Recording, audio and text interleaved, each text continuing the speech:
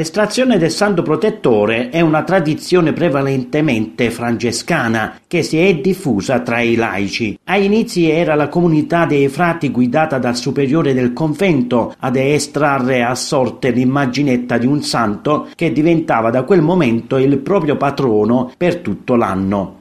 Successivamente questa tradizione ispirata da San Francesco d'Assisi è stata fatta propria anche dai laici.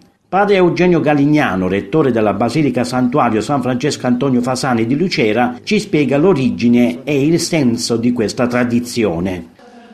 Avere un santo come compagno di strada nell'arco di tempo che è costituito dallo scorrere dei 365 giorni dell'anno nuovo.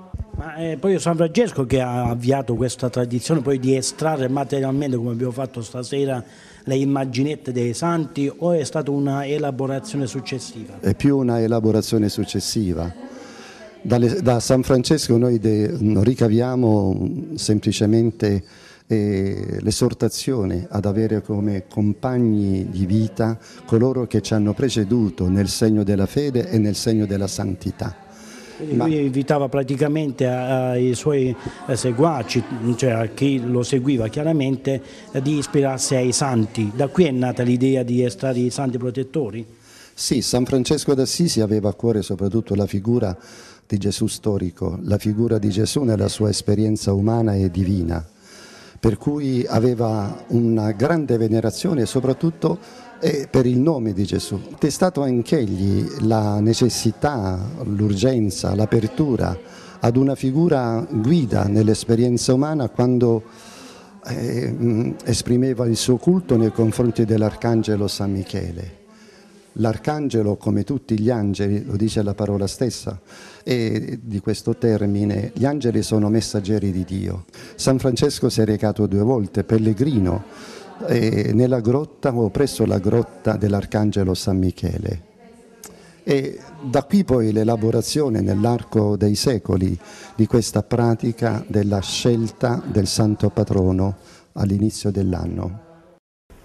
Nient'altro dunque si desideri, nient'altro si voglia, nient'altro ci piaccia e ci soddisfi se non il creatore e redentore e salvatore nostro, solo per Dio e che è pienezza di bene, totalità di bene, completezza di bene. Così a conclusione della messa vespertina del 5 gennaio, dopo la lettura di brani tratti dalle fonti francescane, si è proceduto all'estrazione del santo protettore. Abbiamo intervistato anche alcuni fedeli.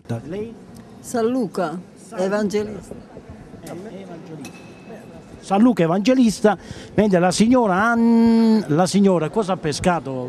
Sant'Anna e San Giacchino. Due santi, non le bastava uno? No, e beh, quelli sono marito e moglie. Eh, Sant'Anna e San Giacchino, io mi chiamo Anna. Quale santo protettore ha pescato? Eh, San Buonaventura. Beata Vergine del Carmelo. Ah, ah. Sfortunatamente ho preso anche questo, fortunatamente. San Federico. Cosa pensate di questi santi protettori, di questa usanza francescana di eh, assumere un santo protettore della propria vita durante quest'anno? Intanto insieme all'angelo custode che tutti abbiamo, ci auguriamo che quest'altro santo ci dia ispirazione vita nella vita quotidiana e ci, ci dia lo sprono per andare avanti e risolvere le nostre problematiche giornaliere. Per farci credere di più nella Chiesa perché è l'unica casa che noi non avremo mai tradimenti e che ci possiamo fidare delle persone che stanno dentro. San Vincenzo Fedeli è la, eh, Federo, Oh, 5 aprile. 5 aprile. È il pensiero invece di San Francesco d'Assisi. Cosa pensa? È una bella cosa questa della... Beh sì, senz'altro. È da anni da anni che fanno.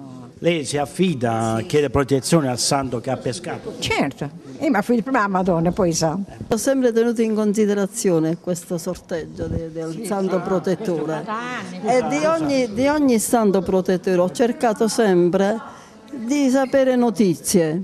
Un angelo custode particolare diventa il proprio protettore e mediatore a cui affidarsi, conoscendone ed apprezzandone carismi, opere e spiritualità.